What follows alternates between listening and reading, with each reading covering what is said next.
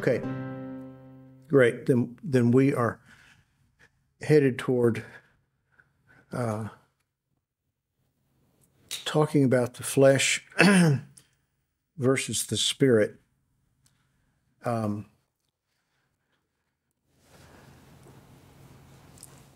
and if you turn to John 3 6, please.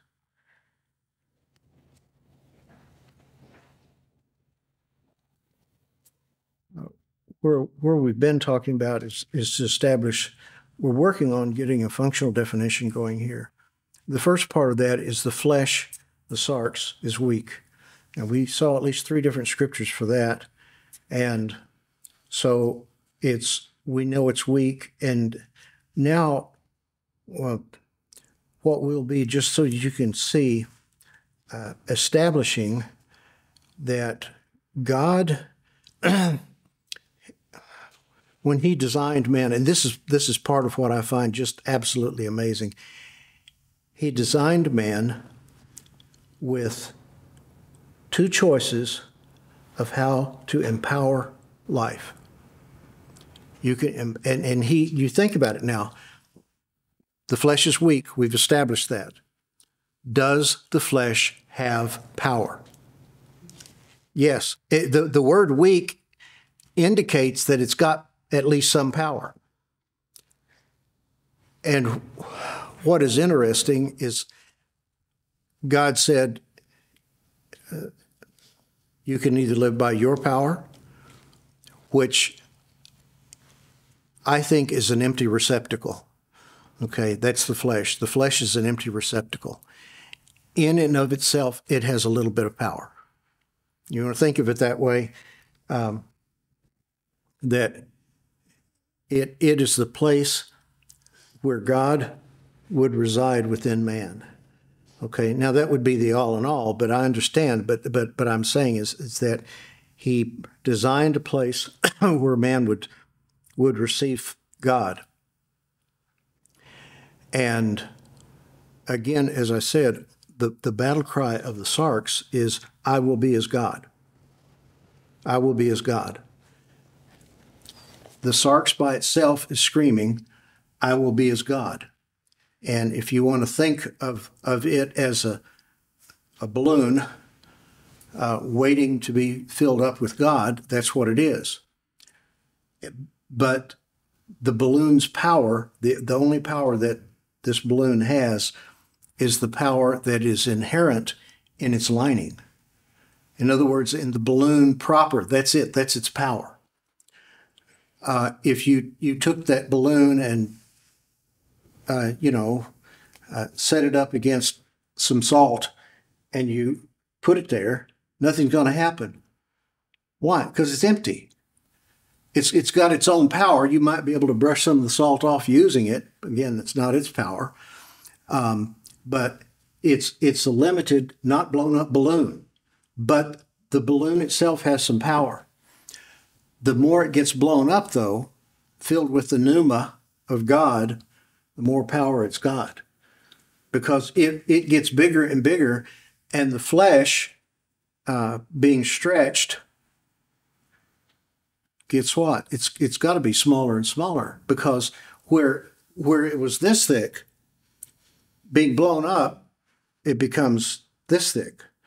Okay, and it the the power or God has given us two choices, and uh, and we're going to look at, at that in a number of scriptures. The choices you're either going to live by the intrinsic power that I put in you, the power of the balloon, and mankind walks around in his pomp, going, "I've got a balloon." Uh, worse yet, I am a balloon, and not even a blown up balloon and we shake our fist at God and go, I've got power. Or we can live it the way He designed it, that I've given you a sarx. It's weak by design. Um, and remember, its battle cry is, I will be as God. You can say you're going to be as God without the pneuma inside the balloon, in which case it profits nothing. It's weak.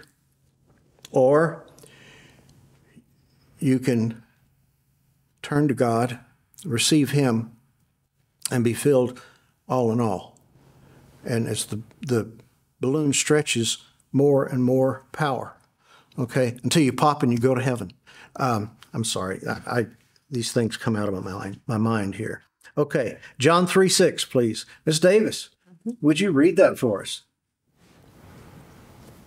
This is what that which is born of the flesh is flesh, that which is born of the spirit is spirit. Now, that sounds like something I would say. Um, someone called me the professor of the obvious one time. Oh, that's fine. Jesus did it too. That which is born of flesh is flesh, that which is born of the spirit is spirit. Um, but I, I, I tell you that this is Yeshua speaking for his Father. And he is reminded, the, the purpose of this statement is to tell you something. You have two choices. And, it, and it's not that there's a third choice somewhere waiting to happen. There's only two. And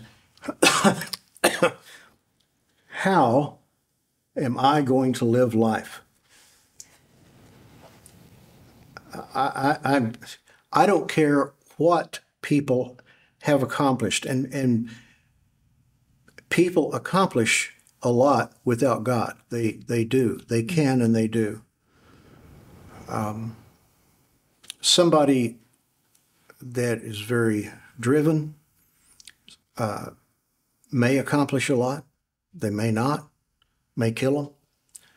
Uh, there are those people that accomplish a, not, a lot without God, but it's not, I don't think, anywhere near what God would have them accomplish.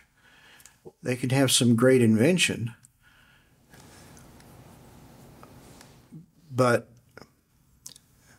if, again, you, if you think in terms of a, person that lives by the flesh,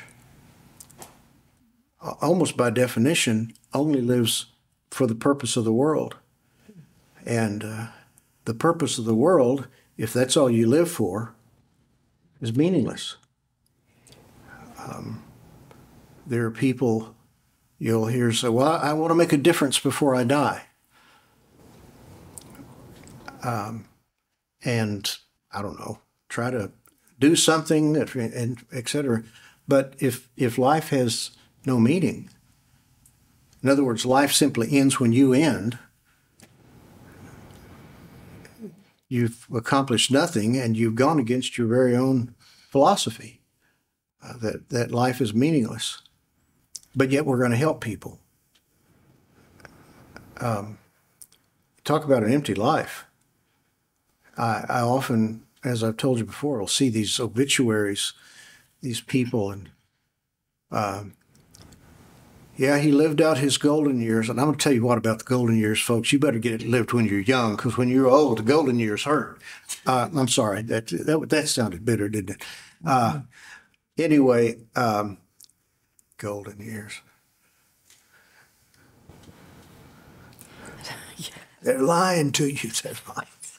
Uh,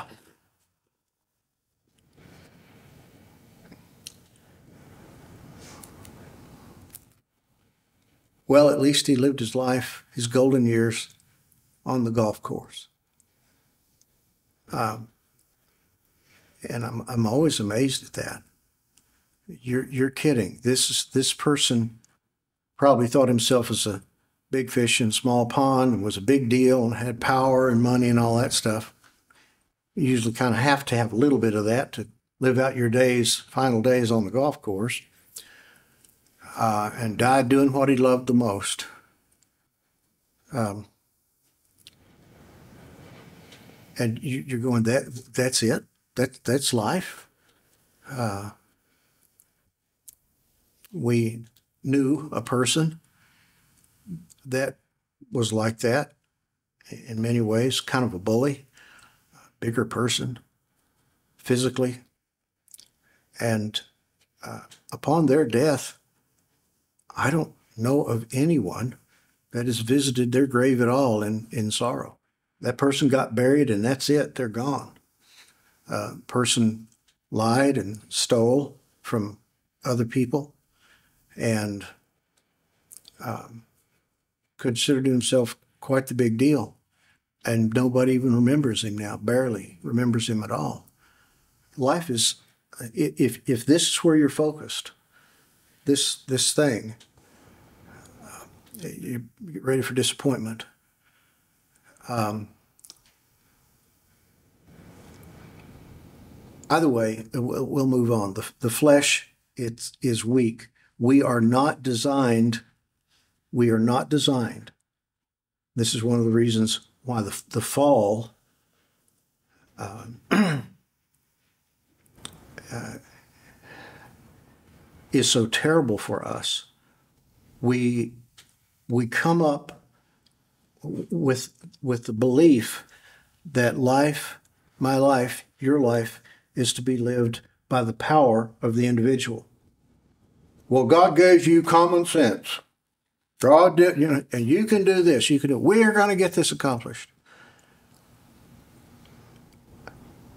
That is not the way life was designed originally. The Holy Spirit. I'm going to give you a short definition of the Holy Spirit. As we've said before, the Holy Spirit's got a name and and that name is Emmanuel.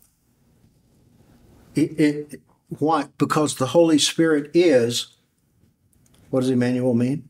God with us. Okay, so it's God with us. That is the Holy Spirit. You can look at Scripture, and, and when you study enough of what that's what it is. And the Holy Spirit originally, I believe, was with man. Why? because it said so. The Bible said, and then God went inside the man. He breathed into the man, and the man became not just a soul, but a living soul. Okay? And suddenly it's not just, well, there's God's two legged dog. Uh, no, that wouldn't. Well, you know, it was still that. It there's there it is. This is two-legged soul. But when God breathed into it, that man became now, I'm a living soul. Well, on the day we ate of rebellion and listened, we lost the living part. I like to say we got the breath knocked out of us. You ever had that happen to you? Fall on, you know, you get the breath knocked out of you. Um,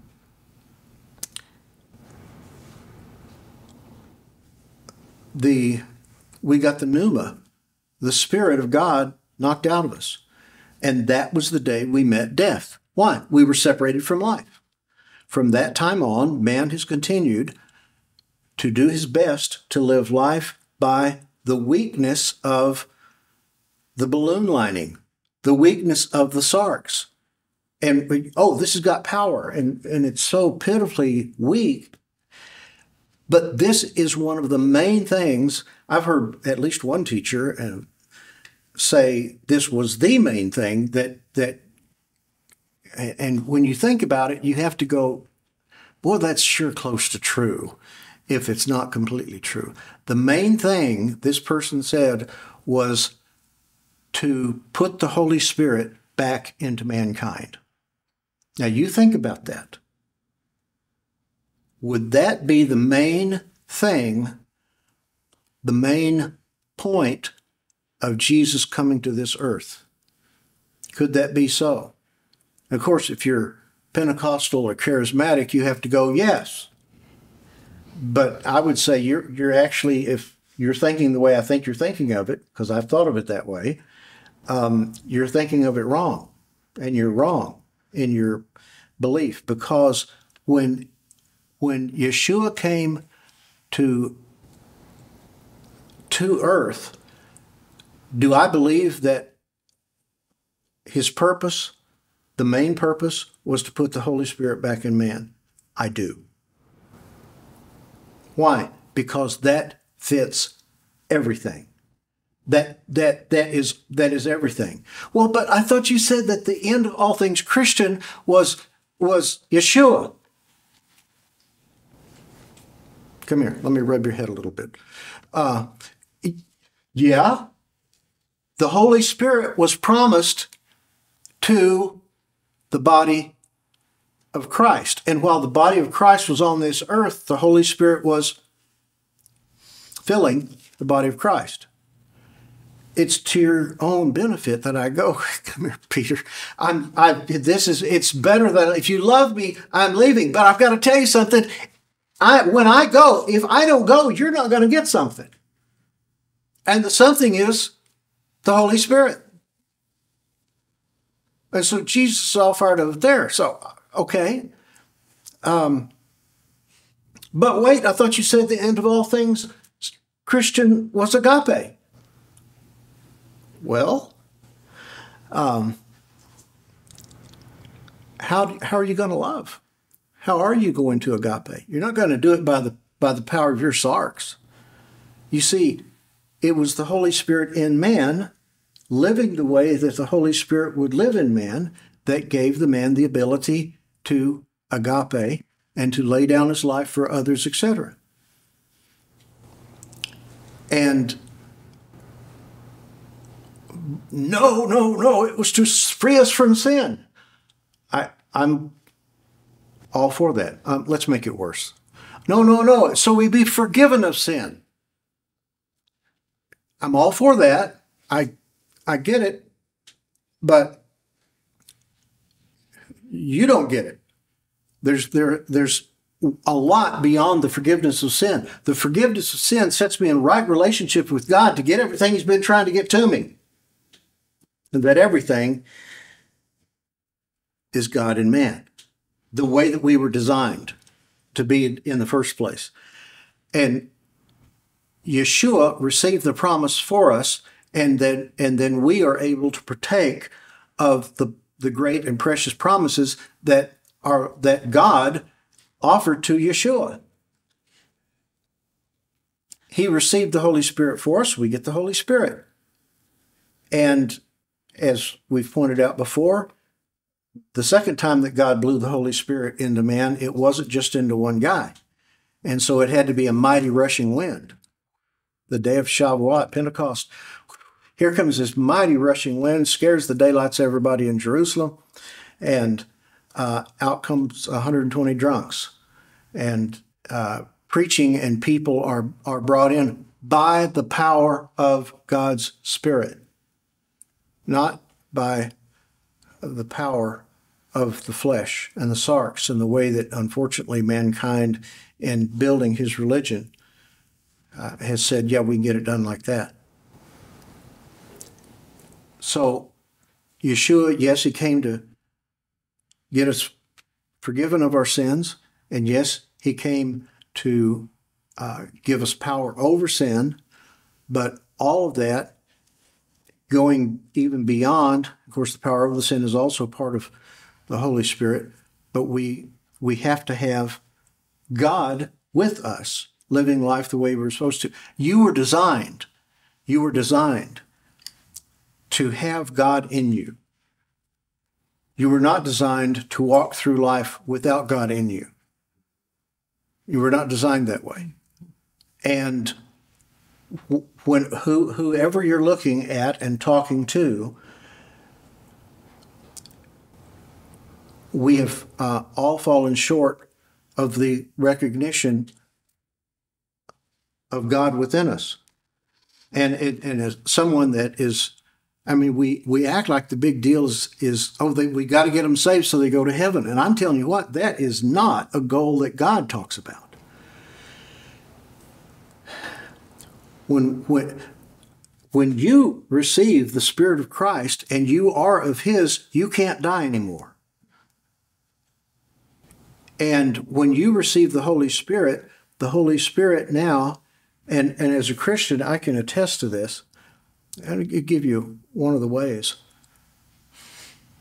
Uh, the closer I get to God, now this this may make you go, well, I don't want to go there. The closer I get to God, the longer I live, the more I have to acknowledge and receive the fact that in the past I did A, comma, B, comma, C to other people. I did it. Me. And here's the part you want to go to. And I feel shame. Now, I'm not talking about, oh, I'm embarrassed that I got caught. You know, uh, right now I, I hadn't been caught. I mean, I have because it's it's it's the reality of who I am. But I finally caught me. I finally looked and God, look at that disgusting human and the stuff that it did. God, how can you stand that? Dear, that's me. Just calm, stay calm. You're okay, God. Don't do anything to it. It's me. I'm the one, and I am ashamed. Well, but I thought that Jesus came to get to get rid of our shame. No. I don't know. I don't know. I keep hearing that in church. No, I don't. I used to hear that in church, but uh, and we did. Oh, God doesn't want you to feel ashamed. Don't be so hard on yourself. Oh, God. Thank you, Miss Davis. Sorry. We used to get that one all the time. We would be we would be giving our testimony. Guess what? We are horrible. We are terrible. We did this and this and this. And Mrs. Davis and I are going, look how disgusting we are. Isn't this wonderful? I mean, you, you remember that line? I, I bring it up every once in a while, and it's a wonderful life you know, we I don't usually bring up. Okay, here's the movie, but this one, that one is, is, you know, it's it's a wonderful life where where he comes in at the end and he's running into the house, and he goes, Mary, Mary. Thought that was interesting, huh? Mary, Mary, I, am going to jail. Isn't it wonderful? Isn't it wonderful? I'm going to jail. Oh, Mary, come here. Uh,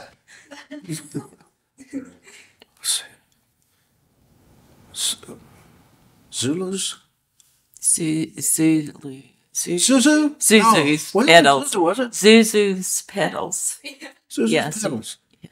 Zuzu. Oh, oh, oh, oh, I'm not. I've seen the movie too many times. Um, I, I, hey. um, for the Christian, is it wonderful? I'm I'm dead. Hey, it's great news. I'm dead. And we would be telling these people, look, we did this, and then, and then God drug us screaming and yelling, at least the male part of us, into his word.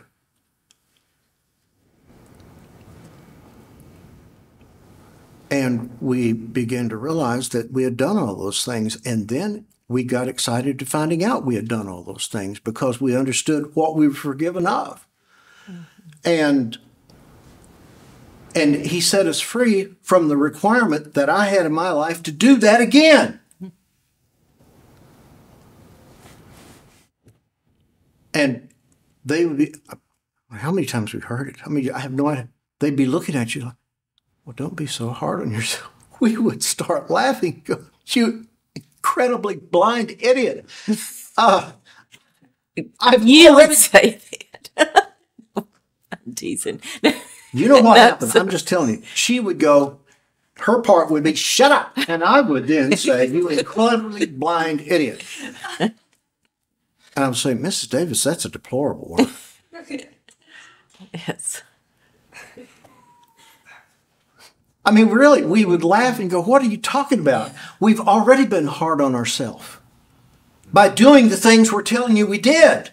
That's when we were hard on ourselves admitting it is not that hard. It's simply the truth. May I add something? I was just, I mean, I was really yeah. in a groove. And just when his law came, we died. If if people are going, I had this issue and that issue, and you don't prayerfully get them into the Word and to to truly listen in desperation to God's voice, God's it says the law is perfect, for restoring the soul. And it's the instrument of death. And I remember I would have counselors, you know, you can have any excuse for any sin in your life. You can paint it as it's because of them or it's because of this or that. And you can always come up with something. And you know, whenever you know God in His kindness shows you something's off, and He brings His law, it works that instrument of death in you. And when God brings conviction, there is life and hope with it. The, the sorrow of the world leads to death, but and that's what we would have people. Oh, don't be so hard on yourself. That's the sorrow of the world. It's going to lead to death. But when God puts you to death by you seeing it through, you know, it's like I love how it says the law, the law of the Lord is perfect, restoring the soul. That is where we began to live. That that I began to go, wow, Lord, it's against you and you alone that we've sinned. David had sinned against all. I mean, a lot of people were affected by his sin, but his it was all ultimately because it was his he was off from where God had him to be, wanted him to be.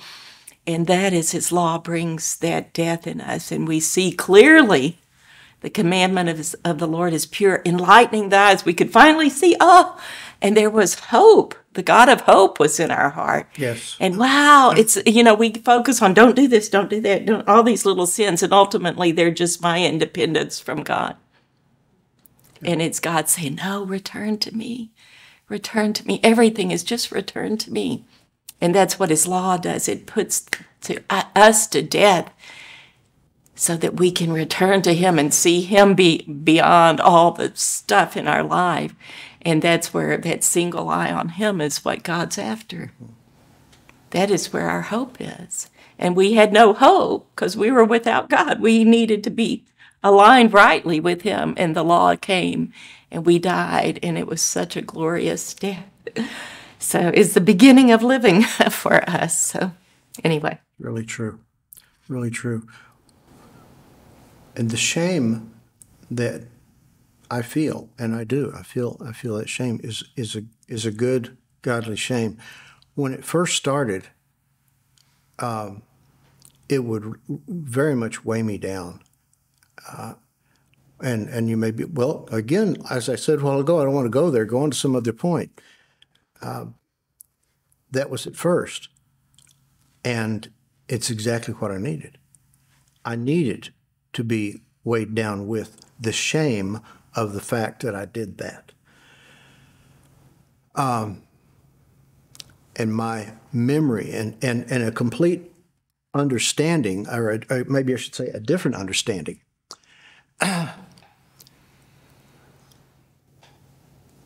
one of the things that the Lord really, uh, again, that He did in me with this is once. Uh, once the law came and sin became exceedingly sinful, how did it become exceedingly sinful? Was, was it not before? Well, in substance, yes. But when I looked at it, no. But now the law's come.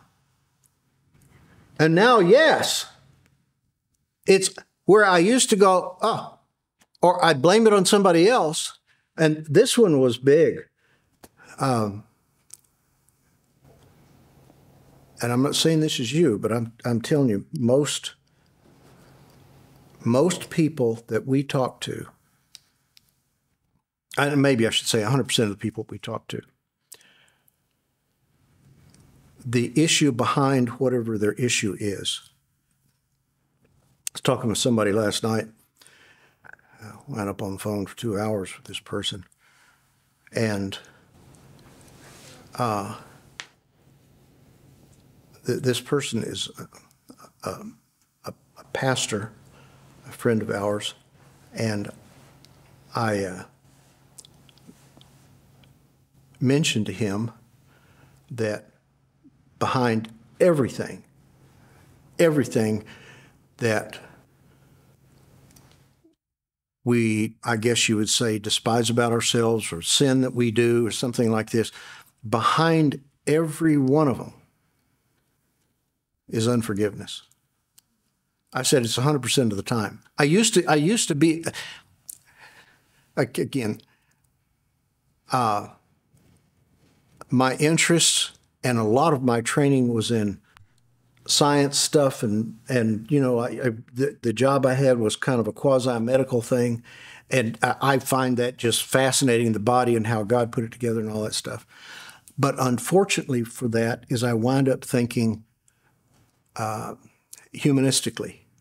I, I wind up thinking naturally like, like a naturalist and I don't mean the good naturalist I mean a, somebody that believes in naturalism and so I it, it's difficult to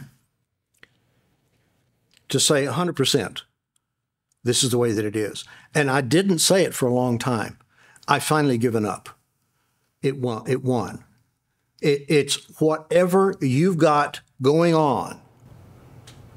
Um, now, if if you're less than a year old, you're off the hook.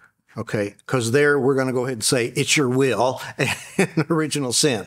Um, but after that, uh, it's it's amazing. It's stuff that you've not forgiven somebody for.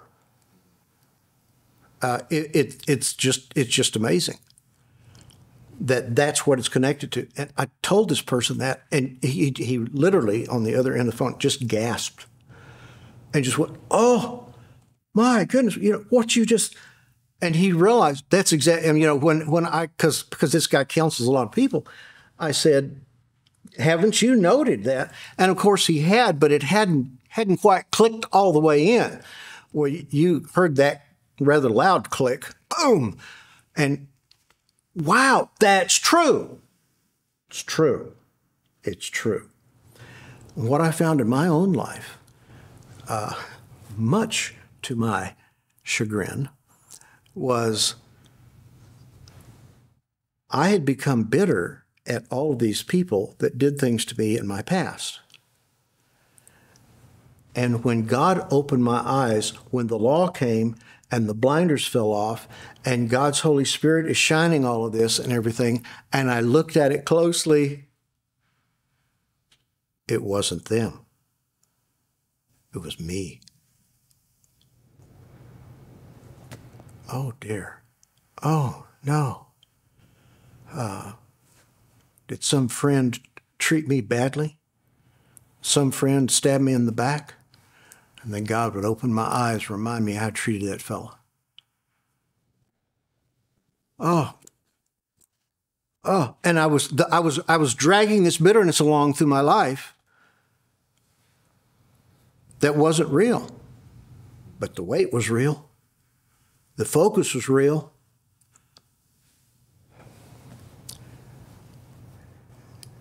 The, the problem, though, was not them. The problem was me. And, and let me finish this part up because, as I said, when this the Lord first began to put this this feeling of, as as the law comes in, of shame and and utter helplessness, which I believe is kind of the way life is supposed to be lived. I say, but I never had that utter helplessness before. You're looking at yourself and you're going, "Oh, I'm so ashamed that I did this. And I'm totally helpless to do. I'm totally helpless to do anything. I can't do anything about that. I'm completely helpless." It was the shame that was the road that got me to the spot that I needed to get to which was, You idiot. God wouldn't say that. That's me in the flesh. You're totally helpless. When you understand the totally helpless, the shame is still there. The memory is still there. But that huge weight is not. I can look at that and go, I ugh. but what I, I'm totally helpless to undo the past. What's my job? That person comes up in my life, comes up in my memory. What am I supposed to do? Well, maybe since I'm totally helpless, I might be able to call on the one that supposedly lives inside me and say, This is the way we're supposed to be living life. I'm telling you it is. Will you do something about it? I think both Mrs. Davis and I have discovered something that while we certainly have gotten better in our communication skills with one another. Uh, I have learned that I just shut up, just be quiet, and everything will be fine. Keep your mouth shut, and nobody's going to get hurt. Uh, but really, if if if she wants to influence me and I want to influence her, do we go, well, we have open communication and our, our marriage like, you know? And so, no. Father, um, I remember in at the time of, of the purchase of this place for the Lord, the man that had the money and the power to do it, the Lord came to me and said, I want you to pray that I would go to that person and tell them and, and irritate them about buying the property and buying the school. What? Yep, I want you to ask me to ask them to. Okay, that's okay. And of course, it's Terry Anderson who gave the school in the first place. Two weeks later, he walked up and said, Mike, do you think that, in so many words, do you think we could buy the school back? Wow. I mean, you know, ask me to ask him. Two weeks later, he walks in, and I'm, I'm you know, and after he picked me up off the floor, uh, we could think about that. How am I supposed to be living life? I could have gone and gone, well, you see, I've got to go and influence him. But instead, the Lord said, no, let me do that. Can I say something on that real quick? Please. Yeah, and just, I love that you're tying in prayer with that. Um, it's like as God frees us from the bitterness and the unforgiveness that we hold on to and we, we let it go. Um, it just, I don't know, it, um, goes into every area of our life. Um, we didn't know that we're, me and Nathan were talking about this earlier, like, I thought I forget those people, and then all of a sudden something comes up, you know, and you have to re-forgive them or situations, and um, yeah, it's just cool that you brought up prayer and because um, it's that effect we were talking about last week of like God frees us, and and then we free other people as we walk in forgiveness, and then prayer, you know, frees them up with God and binding the enemy over them. And that's the, that's the power going out. I mean, you can talk to them, and your do your words have power? They do, but they're the flesh, so therefore it's weak. Um, this um, this is one of the things I think we we assume that we're ready. Okay, well, well, don't don't worry about doing this for a while here. Um, and again, what, what does the flesh do? The, the flesh considers itself powerful. Now, if I go to Mrs. Davis and, and uh, uh, and say, uh, you know, I, I don't know if you've noticed, but I've not spent uh, $10,000 on me lately, and uh, I, I need a new set of Uilleann pipes. Um, and that is absolutely not a subtle hint. Um, 71, I don't need another set of Uilleann pipes. Um, the first set defeated me. Uh,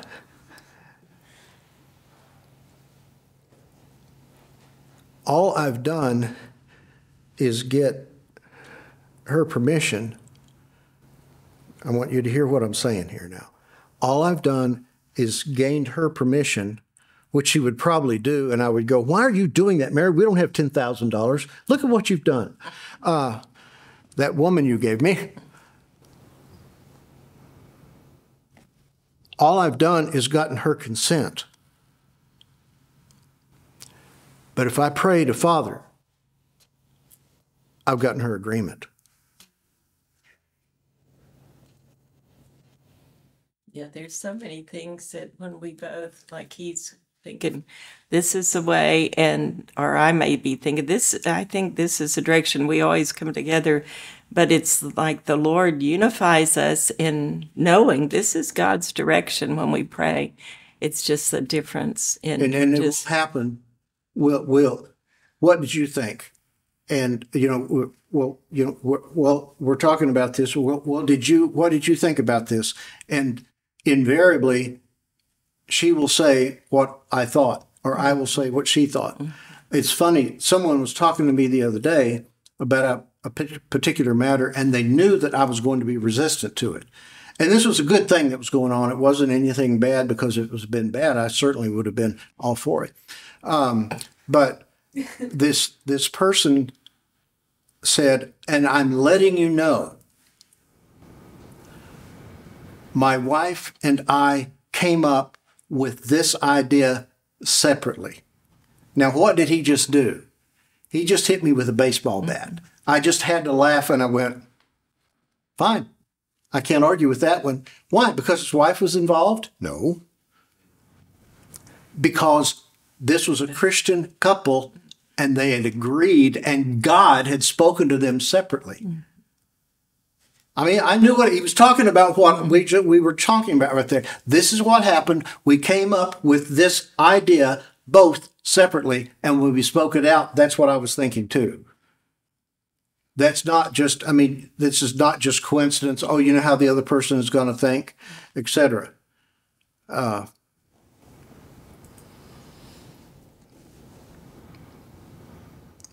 that's how I got tricked into buying that mini. Yeah. no. I won't No. Tell that story.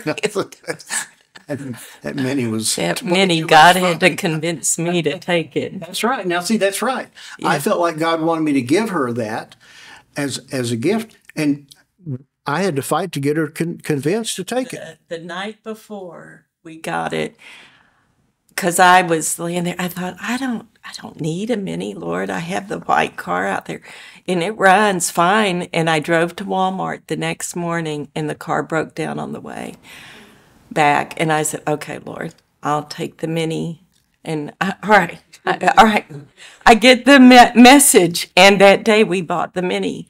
I just it had never it had only broken down on me one other time and all the years we had had it and that happened. I thought okay i was convinced that this was of the lord so. Pretty funny. And a lot of fun too. Might uh, it was a lot of fun and god helped us get the money back that we paid for it just barely i don't remember Yeah.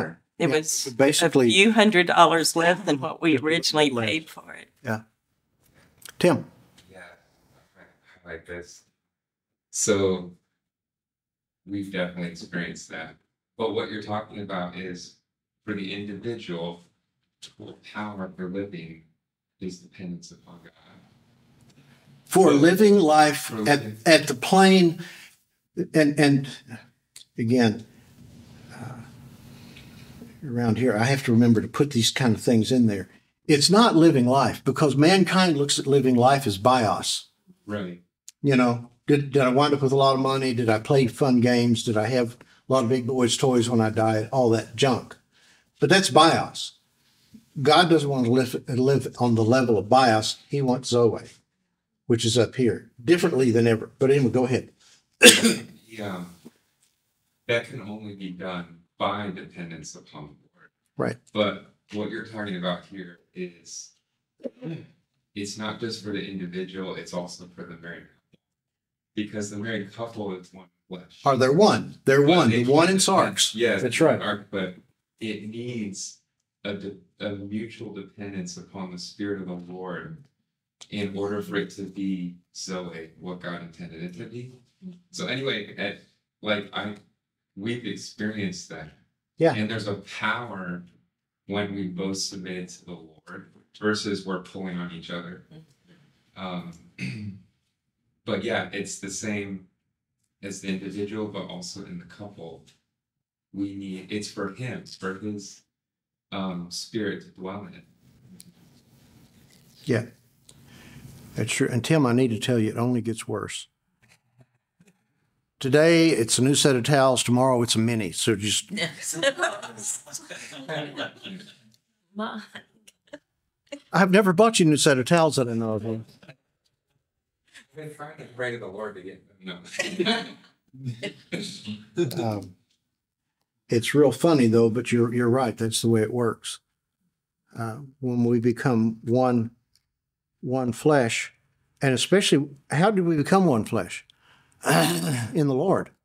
And when we're one flesh in the Lord, um, then it's not just she and I involved anymore.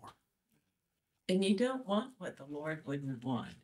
You know, that's the thing is if you're if you're abiding in him, you don't want what he doesn't want for Yeah. you. I remember and this we were gonna go on a trip and it used to be that we would just go, Well, we need to get away. We need to have some time away and stuff because we were immature and in where we were in the Lord. And um, I remember the summer that we said we could go somewhere, but we stopped and went wait. We don't want to just go somewhere just to go somewhere. God, we want your direction. And we waited and we said, God, you make it clear. We wanted to go west and we wanted to go northwest, but we wanted God's direction. And within 24 hours, someone called and said, Would you come to Portland and do a conference? God made it clear because, and we also in that prayer is we want it to be about the kingdom. So we got our vacation, our time away, but it was for the kingdom's purpose. And it's just, there was such a difference in that than just going to go for the sake of going, which had been the norm of, you know, you can reason anything in your mind. We, oh, we need this. You know, God wouldn't say, He knew what we needed, but He provided not only just a wonderful trip, but it was everything that He wanted to happen it was wonderful and uh, it was about the kingdom um, i think every place we stopped it seemed like every hotel someone we had an opportunity to talk about the lord and give the facebook away every place we went. Now I am serious now. We are this this was everywhere we went. Something would come up very quickly. It just seemed like it it, it was like, okay, you can go see this, but you need to be ready. On on top how many of you have ever been to Rocky Mountain National Park? Okay. Rocky Mountain National Park has the highest continuous highway in North America. It's it's an entire highway, and I don't know what the final. I don't remember it. Uh, what it is? It's over ten thousand feet. Um, and there's still peaks that are up up around you, you know. And Rocky Mountain High is is is high, and uh, we're up on top of this mountain, and it's it's a place where you could stop and pull out, and there's the the elk down there and sleeping, and you know all this other stuff, and the wind was blowing a lot harder than that. And I found myself standing outside the car talking to a man about keeping. And can I give you a, a copy of this book? We'd be thrilled to have that. Um, we're sitting under the gaze of Washington, Jefferson, uh, T.R. Who's the other one that's up there? Lincoln, yeah, yeah. I was thinking it had to be Trump, but that's. that's- yes yeah, it's coming soon. yeah yeah, Yeah, something with a rock on top of the others, you know. So, um, anyway, we're we're standing there and wind up in this conversation with this couple, and next thing you know, we're talking about keeping. It wound up being a, a Christian couple, and they, yeah, giving them a book and or a couple of books and wandering off. It, it it happened everywhere we went.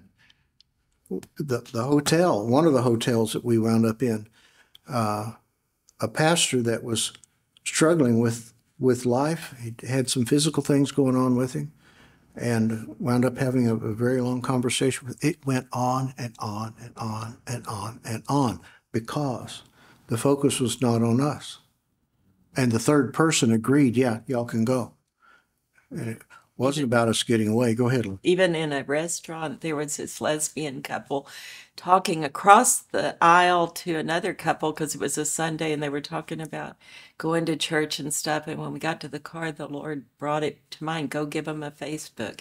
So I went back and I said, I heard y'all talking about the Lord. It was so encouraging and, you know, whatever I said. And I said, I wanted to give you a book about, you know, relationship with the Lord. And they took it. And I just, you know, it was like every place we had, there was some place to share the Lord with people and pass out the Facebooks. We had taken, I think, a case, case of them, something like that. But it was just, it was, yeah, encouraging because our focus was not our R and R, how you say it, and um, but That's it was, correct. yeah, the Lord, you know, giving us that opportunity to share Him with other people. Yeah. Um, amen. Like I said, uh, when the Lord brought that about, there was great joy in it rather than, okay, we're just going to make this happen. We're in agreement. Okay. We were in agreement with Him rather than, okay, we got permission to do that. So often we'll settle for the the cheap imitation uh, that the Sarx brings about. So.